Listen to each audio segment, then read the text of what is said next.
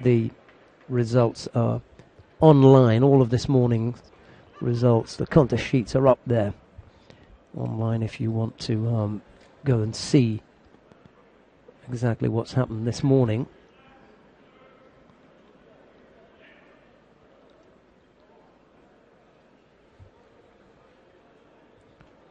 We've still got uh, a couple of matches here, and here's the uh, the first of them.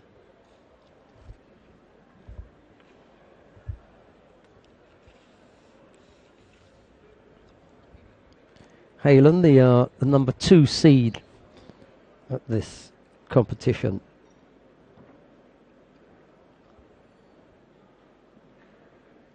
This for a place in the semi-final.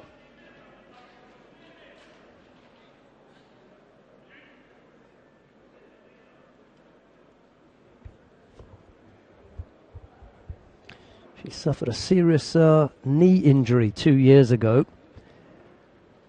And uh, on return, there was just about enough time for Heylen to re recover, get back uh, on form, and qualify. She's ended up um,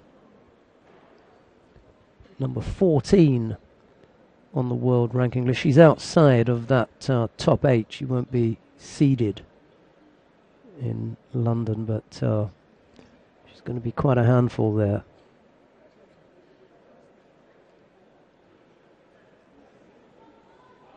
The person who will be missing from that uh, 52 kilo group, um, quite surprised.